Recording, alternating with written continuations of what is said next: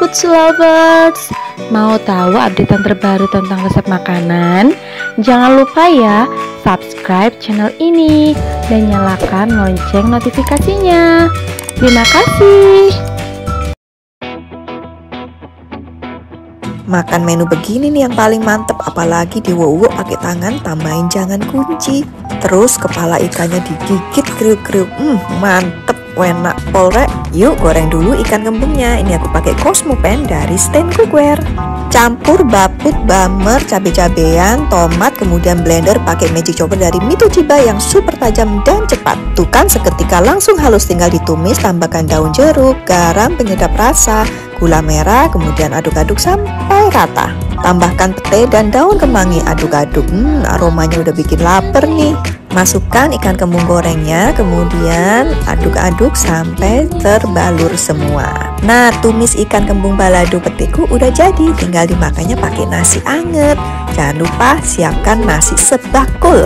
Untuk ikannya kalian bisa pakai ikan apa aja sesuai selera, tapi menurut aku ikan fresh pasti lebih sehat daripada ikan asin. Duh duh duh paling ngiler kalau lihat menu yang satu ini. Apalagi dimakannya sama pete, ayam goreng, dan sayur asem. Iki pasti ngentek nasi sak bakul rek. Nah sebelum lupa ini telenan, pisau, terus pen dan sotilnya dari cookware. Untuk resep bahannya udah aku tulis di video ataupun di caption ya Tinggal diikutin cara masaknya.